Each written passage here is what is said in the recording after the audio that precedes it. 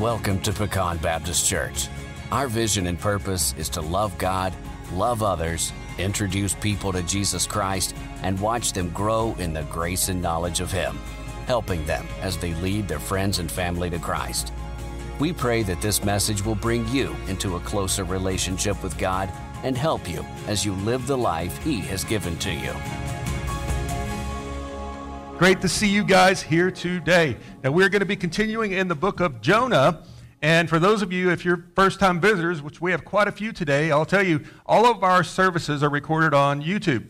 And so if you want to go back, I think this is, if I remember right, this is the third message so far out of Jonah. If you want to go back and catch up, you can do that. Just look up Pecan, Pecan Church on YouTube.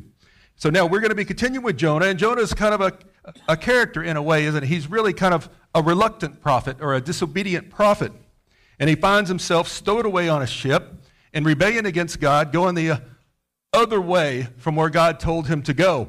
His task was to go to the Ninevites, go to the Ninevites and preach that they are going to be destroyed unless they repent. But Jonah hates the Ninevites and he doesn't want to go to them. And he knows God is a merciful, loving God who, if they repent, then he will not bring upon judgment upon them or destruction. So now, today in verse 7, we see there's a great storm that comes upon the ship. And they've already cast all the cargo overboard. And it just looks dire. The men, the sailors, are terrified. They think they're going to sink. So at chapter, chapter 1, verse 7, each man said to his mate, Come, let us cast lots, so we may learn on whose account this calamity has struck us. So they cast lots, and the lot fell on Jonah. Now, a couple things here. This is interesting because a couple things are related to this. First of all, this is not a coincidence that the lots fell on Jonah. But you also have to remember that these men, they don't know who God is. And here is Jonah hiding on the boat.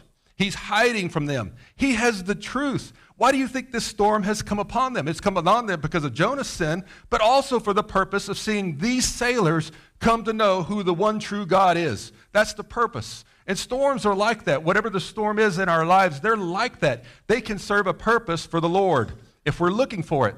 Now, Jonah is not looking for it, he doesn't even care. He's hiding. He was probably hoping that the lots would land on somebody else, but no, they didn't. And guys, I tell you, if we, we pray, and, and I'll, I'll try to pray it today when we go out these doors God, lead, guide, and direct us. Put us where you want us to be.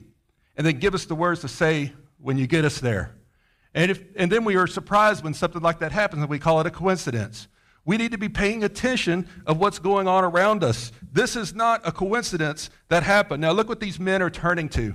You know, people that do not know the truth, who the one true God is, the God of Abraham, Isaac, and Jacob, the Lord Jesus Christ. People who don't know that, they're going to turn to all kinds of things. They may turn to superstitions. They may turn to, well, casting lots, maybe to gambling. They may turn to addictions of some type. They're gonna, people are looking for answers. And look, the one person on the boat who has the answers is not willing to tell them. The words are going to have to be pried out of his mouth. Now, in verse 8, look at what the men say. Then they said to him, Tell us now, on whose account has this calamity struck us? What is your occupation? Where do you come from? What is your country? For what people are you? So now this is amazing too, because here you have this prophet. Jonah is a prophet of God. So he's supposed to be a man of God. And here he is on this boat in the middle of a storm, and they don't know who he is. You know, guys, people in our sphere of influence should know where we stand, should know that we have placed our faith in the Lord Jesus Christ. Now, not everybody's called to be a preacher, but we're all called to share the light of the gospel of Jesus Christ in whatever way God calls us to do it. I've heard it said before if nobody around you knows you're a Christian, either you're not a Christian or you're acting like Jonah. That's the way it is. So we need to we need to be a light in this dark world. There are storms. We've been through some storms. There's going to be more storms. You know what? Storms and problems are just opportunities for us to show who we are. You know, it's easy. It's easy when everything is great, but you want to do something unexpected? Live joyfully in a storm. Live confidently in a storm. Don't be overcome by fear. Then, all of a sudden, you look really strange to a worldly, unbelieving person. Peculiar, as we are.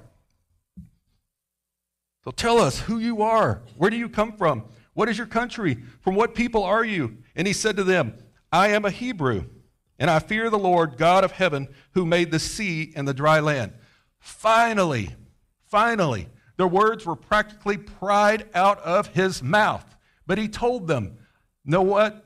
I am. He already told them once before he was running from his God. But now he's told them, I am the God of the Hebrews, the God of the land, the God of the sea, the God of all creation. Then the men became extremely frightened and said to him, Now, why were they so frightened about this? You know, I got to thinking about this text right here. What made them so frightened? Do you think they knew of the legends, right? Of the legends of the God of the Hebrews with the Red Sea crossing? Do you think they knew of those things? Maybe they knew of the conquest in Canaan, the 10 plagues of Egypt that brought a, a massive dynasty to its knees. And maybe now they're realizing, you know what? That's not just legend. We're living through the wrath of the God of heaven, the God of the land, God of the sea, the God of the Hebrews, the God of Abraham, Isaac, and Jacob, the God of the Israelites who came out of Egypt. They're living through this now, and they here is a prophet of this God, and he already told them he was running, and that this is his fault. So the men became extremely frightened, and they said to him, How could you do this? Now, think of the impact of those words. How could you do this? He knows he's the problem, and he still hasn't told anybody. Well, he just did, but they made him. How could you do this? You know what's interesting? How does a man of God get so backwards? You know, how does, we don't know Jonah's backstory. We know very little about his backstory. We know he was living in a in the, the northern kingdom of Israel, which was not a good place. I mean, it was a, a place of all kinds of bad stuff. Let's just put it that way idolatry, child sacrifice was going on too, all kinds of things like that. And so people weren't really listening to his messages. You know, maybe he was very disgruntled, maybe he was depressed, maybe he experienced some great loss. Don't really know the backstory on him. But how did he get this way? You know, this right here, think of this. This storm that these sailors are going through, this is going to end up being the best thing that ever happened to them. I mean, they're terrified. They've thrown the cargo overboard. They think they're going to die, but it's going to end up being the best thing that happens to them. See, and that's the truth, guys. Storms or problems, whatever they are, storms, problems, plus the truth results in salvations. It does. So God is wanting to see these sailors saved. Like I told you last week, couldn't God have turned Jonah around before he got on the boat? I mean, he could have done that a number of ways. He could have had him kidnapped, taken to Nineveh. I mean, it could have been happening almost any which way. But God allowed him to get on that boat. Then God allowed that great storm to come upon the boat so these sailors could hear the truth. Who is the one true God? Jonah is in such a bad way. You know, they ask him, Do you even care? Do you even, how could you do this to us? Do you even care at all? I want to turn back now to Psalm chapter 1, one of my favorite Psalms. But how do we end up like this? I think every one of us in this room has been has behaved like Jonah before. Psalm chapter 1, look, I love this, how this goes in the first verse. How blessed is the man who does not walk in the counsel of the wicked, nor stand in the path of sinners, nor sit in the seat of scoffers. Do you see the progression? First, he's kind of passing by and he, and he hears the counsel of the wicked. Then now he's standing in the path of sinners, so he's stopped. And then there's another progression. Now he's sitting in the seat of scoffers. And that's the way it is. You know, sometimes people just go off the deep end. They do. But at the same time, what usually happens, and what probably happened to Jonah, was it was kind of a slow progression backwards backwards and backwards and backwards until he doesn't even look like somebody that could be, you're a prophet, you're a man of God. Who would ever thought it? But guys, we have to fight against that. And I've said this before if we're not moving closer to God, then we're going further away from Him. There's no standing still in this matter. So keep working on your spiritual life, your spiritual relationship with the Lord Jesus Christ. Keep growing. Keep growing and fight against the trend of going backwards because we don't want to end up even more like Jonah than we currently are. Now, look, this, this guy, but his delight is in the law of the Lord, and in his law he meditates day and night. He will be like a tree firmly planted by streams of water, which yields its fruit in its season, and its leaf does not wither. And in whatever he does, he prospers, basically, in the will of the Lord, correct? So now this is the opposite of Jonah. Do you think he looks like a tree planted by streams of water who is yielding its fruit in season? No, he doesn't. And sometimes we don't either. But at the same time, we have to fight. If this can happen to a prophet, a man of God, to end up in such a sad, sad spiritual state, it can happen to any of us, and it probably has. But we have to fight against that. I'm going to move back over to Jonah now. So they ask him, How could you do this? See, for the men knew that he was fleeing from the presence of the Lord because he had told them. So they said to him, What should we do to you that the sea may become calm for us? For the sea was becoming increasingly stormy, so it was continuing to build and to continue to get worse. And guys, it is bad when they already throw all the cargo overboard, and it's getting worse, and it's getting worse. Time is running out. What should we do to you? They proclaim. Look at this in verse 12. He said to them, Pick me up and throw me into the sea.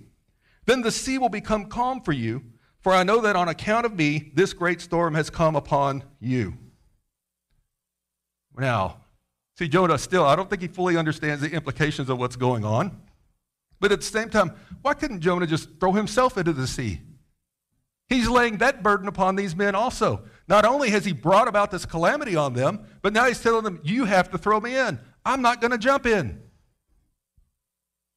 Man, what a backwards man of God. Remember, Jesus Christ said that this, this I'll give you no other sign but the sign of Jonah, right? I will be in the heart of the earth three days and three nights. And as Jonah was in the whale, the great fish, great sea monster, whatever you want to call it. But there's some big differences between Jonah and Christ. Can you see that? Christ willingly went to the cross. He allowed himself to be crucified. Jonah, I don't know, maybe he didn't wrestle back, but they threw him in the sea. And the similarities are amazing to me. Saying, how can we stop this? You know, look at what the men do next. I guess, you know, the question relating to that verse back there, you know, I think the comparisons between Jonah and Christ is kind of stark in a way. Because if you think about it, to us, this is a good description kind of of the human condition that we are in compared to the Christ, the Redeemer of, all, of the whole world. So, in some ways, Jonah is symbolic of Christ, but he's also symbolic of us. You know, the heart is deceitfully wicked above all things, right? Who can even know it? So we are still have a we still have a sin nature. And we still, and that is what's like Jonah. But because of the work of Christ, that is not how we're going to end up. So it's kind of interesting, too, how this symbolism between Jonah and Christ is kind of symbolic of a Christian and Christ also. So, do you even care? You know, that's a good question that we can ask ourselves do we really even care if people are going to hell or not? Does that really even matter to us? Does it ever cross our mind? You know, when we see a crowd of people, how many do we ever look out at that crowd and wonder how many of these people even know the Lord? Jonah, at this point, he's not thinking things like that at all. He said, Just pick me up and throw me into the sea. Then the sea will become calm for you for I know that on account of this, great storm has come upon you.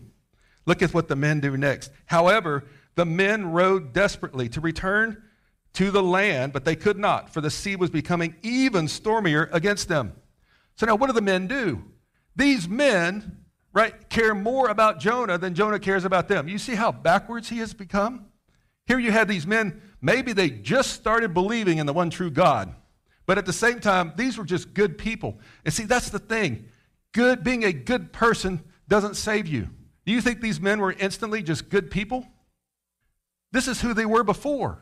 They were good people. They cared more about Jonah than Jonah cares about them. And they're trying to save his life still. But that's the thing being good isn't good enough, it takes perfection. And that's the relationship between us and Christ. Because we, if we've given our life to the Lord Jesus, we have the righteousness of Christ.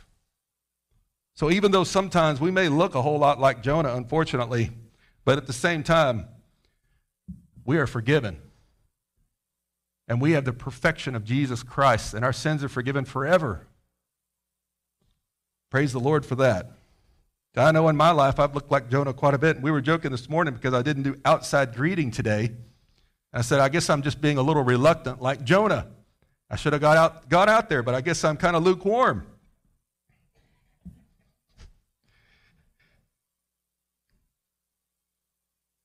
So, guys, what I'm, tell, what I'm trying to urge us here together, we have a mission to reach people. You know, and storms are going to come about, problems, difficulties, and our job is to reach people. That's what matters. That's what really matters. Now, your life matters. It does. It does. But like I've told you before, but when we come before the Lord Jesus Christ and we look backward at a lot of the things we were so concerned about, I think they're going to be insignificant when we come before the Lord Jesus. So now these men are paddling like crazy to try to save Jonah's life. So the men were rowing desperately to return to land, but they couldn't because it was even getting worse. Then they called on the Lord and said, Listen to this. This is probably, well, I was going to say it's their first prayer, but they've probably been praying already to the God of the Hebrews while they were paddling trying to save Jonah and the ship. But look at what they say. Then they called on the Lord and said, We earnestly pray, O Lord, do not let us perish on account of this man's life. Do not put innocent blood on us, for you, O Lord, have done as you have pleased. Now, there's several things here already. Looking at this, they're, they're, they're proclaiming basically that God is sovereign, right? And they're asking for forgiveness for throwing Jonah overboard. So, pretty amazing prayer for such young believers in the one true God, don't you think? But amazing to me how these men are behaving versus Jonah. It's amazing to me. You know, and look how they were baffled by Jonah's behavior. Yeah, I've told you before, sometimes we can act like Jonah and it just baffles even an unbeliever if they know that we're a believer. We have to keep that in mind. We have to always be focused on that. Guys, if you pull out of this parking lot and you pull out in front of somebody, where are you pulling out from? You have just come to church. You're probably a Christian. And if that person is an unbeliever, what do they say? Oh, yeah, they're all just a bunch of hypocrites. Right? Have you ever thought about that? If you have a Jesus sticker on the back of your car, don't go swerving in and out of traffic. I mean, it's just common sense, but I see, I've seen it happen. I've mentioned, I think it was a couple weeks ago, I mentioned how Melissa, she worked at Lowe's, and she said people would come in after church in their church clothes and act like a total idiot, just furious, raging about some return or something. I also heard a waitress at a restaurant. I asked her, I said, Do you prefer to work the Sunday crowd? She says, No, the Sunday crowd doesn't tip as good as the Friday night, Saturday night crowd. I don't want to work it. Really? So have we totally lost what we're doing? I mean, uh, to me, if that, if that is how the church is behaving, then we're behaving more like Jonah. Then we are these new believers, these sailors who are trying to fight for Jonah's life. So, guys, we got to think, we got to think everywhere we go, we represent the Lord Jesus Christ. So they called on the name of the Lord. We earnestly pray, O Lord, do not let us perish on account of this man's life, and do not put innocent blood on us. For you, O Lord, have done as you have pleased. So they picked up Jonah and threw him into the sea, and the sea stopped its raging. Then the men feared the Lord greatly, and they offered a sacrifice to the Lord and made vows. Now, thinking of the similarities of Jesus Christ here, and I even think, this is my opinion, it doesn't say it, but as Jesus says, as I was in the heart of the earth for three days, Jonah was in the heart of the fish for three days, or sea monster, right? So I think, I, I want to know when I get there, but I'll bet you it was also Friday, Saturday, and Sunday, the same days of the week. Now, if I'm wrong and we all get there, you go, ah, you were wrong about that. But I bet you it was Friday, Saturday, or, and Sunday that Jonah was in the fish. And this is symbolic of Jesus being in the tomb, one sacrificed for the many, many saved as a result. because of grace, the sea stopped raging. You know, I was thinking of the apostles, how they didn't want Jesus to go to the cross. You know, and how here the sailors, they didn't want to throw Jonah overboard. And they didn't want Jesus to go to the cross. Surely not you. And Jesus says to Peter, Get behind me, Satan. You're a stumbling block to me. Well, if they really understood, I knew they, they were close to him, they loved him, they didn't want him to go, but if they truly understood, like Jesus knew, if they truly understood that it is by him going to that cross that they would have forgiveness of sins, and without that, they have no hope.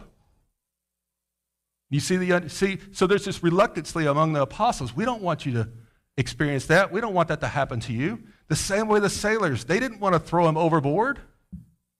So they have mixed feelings here too. Yes, it solved the problem. But then again, they had to throw him overboard. So now they're without their only passenger and they're also without their cargo, but they have their lives, but they have something even better. They have eternal life by faith, looking forward to the cross as we look backward. And guys, that is what matters. The Bible says the angels rejoice in heaven when one person comes to Christ and repents. Now think of that. So now here they are. Fear the Lord is the beginning of wisdom. So they feared the Lord greatly. Look, then the men feared the Lord greatly. They offered a sacrifice to the Lord and made vows. So they believed the Lord, they feared the Lord greatly. This is belief. They offered a sacrifice to the Lord for forgiveness. And then they made vows. That's the process of becoming a believer, isn't it? We believe, right? And then our lives are supposed to be a reasonable service of worship. Our lives are also, pick up your cross daily and follow me. Our lives are a living sacrifice to the Lord. When we come to the faith, we make a vow I'm going to follow Jesus. So now, guys, if you are in here and you look at your life and you think, you know what? My life right now, I look more like Jonah than these sailors, even. It's not too late. Turn it around. Turn it around because it, it matters. You know, every one of us has people in our spheres of influence who are not believers. Jonah is, he doesn't even care at this point. Do we? Do we? What matters most to God? Do we even care about that? You know, we know that the, from Matthew 24 that famines, disease, earthquakes, wars, rumors of wars, all those things are going to increase. You know, when th- things keep going the way they're going, I wouldn't be surprised in the collapse of the American dollar. I wouldn't. But at the same time, we don't have to fear those things. The Lord's going to take care of us. I'm not saying it won't be difficult. We don't have to fear those things. We need to start seeing those things differently. The reason those things are going to come about is because we will have an opportunity to tell more people. I used to do a Bible study for youth leaders at camp. And I would always tell them, look, there's 800 teenagers here. A lot of bad things are going to happen. It's inevitable. So, but look, that is an opportunity for us to respond in a godly way to problems. So we need to start seeing storms and problems and difficulties different. Because those things, when you take those problems, those storms, and someone adds God's truth to them, that results in salvations. So, guys, who are you? Are we ready to stand in a storm or are we going to hide in the bottom of the boat? Do we even care? Maybe you're thinking today, I am as backward as Jonah is. Well, there's a way out. There is a way out from that. Or maybe you're here and you think, you know what, I have, I, I don't know the Lord. Maybe you were like these sailors before the truth was finally forced out of Jonah's mouth. Well, then today can be the day of your salvation. Trust in the Lord Jesus Christ, right? Your life becomes full of purpose to glorify the Lord. Your life is a living sacrifice under Him now. And we make a vow to follow Jesus Christ and to live for Him in our lives. So if that's you, today could be the day of your salvation. And I pray that I pray that you would make that. It'd be the best decision you ever made. Just like these sailors. This storm was horrific. They nearly died. But I think when we get there, we'll have an opportunity to meet them. And I bet you they tell you that's the best thing that ever happened to them. Thank you for listening today.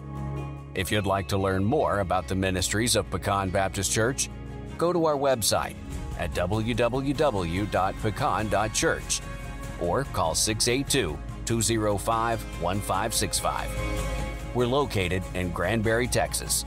Services are each Sunday at 10 a.m.